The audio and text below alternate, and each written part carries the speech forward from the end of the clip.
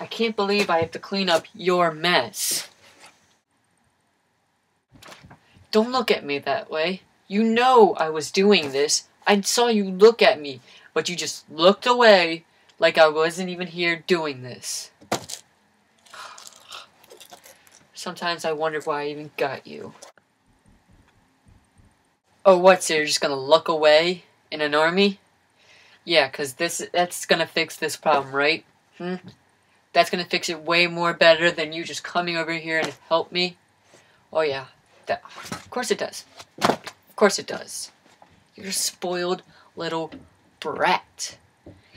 How do you think? How do you think your sister Maya? How do you think she survives? She comes, and whenever I ask her to help me clean up my room that you two make a mess in, she comes and cleans it up.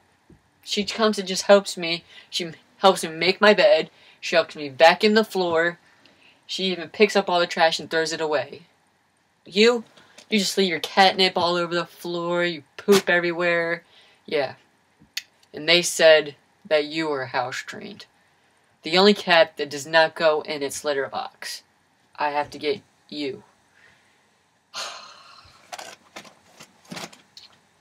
What am I supposed to do with you?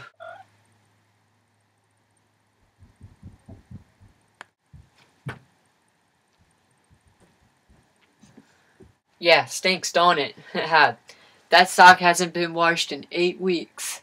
How does that smell, huh? Does that smell good? Tell me. We're gonna get down now? Are you? Yeah, that's right. I won this battle. Score for Dylan.